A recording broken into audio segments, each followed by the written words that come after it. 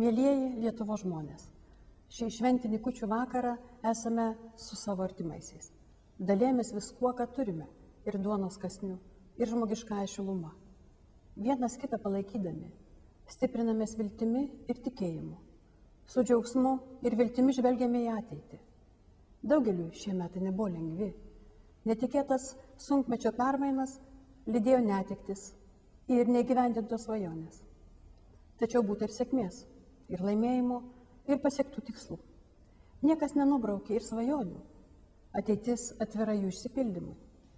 Mes atradome naujų galimybių sunkumams įveikti.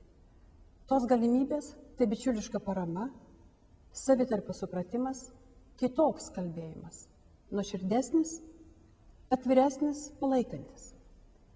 Reiklumas ne tik kitiems, bet ir savo. Noras mokytis, tobulėti ir siekti tikslo Tai padeda ištverti sunkumus ir juos nugalėti. Prisiminkime istoriją.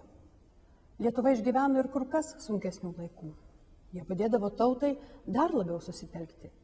Įvertinkime išbandymus, kaip pamokas, naudingas ateičiai.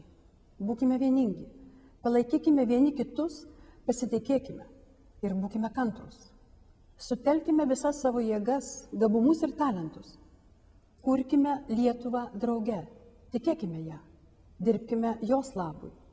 Linkiu visiems stiprybės ir sėkmės, geros nuotaikos ir pasitikėjimo savo jėgomis, stebuklų, kuriuos galime sukurti savo rankomis ir padovanoti vieni kitiems. Tegu šventų kalėdų dvasia suteikia jums, mėlyje Lietuvo žmonės, ramybės ir meilės. Tegul ateinantis metai būna viltingi, linksmų šventų kalėdų ir laimingų naujųjų metų.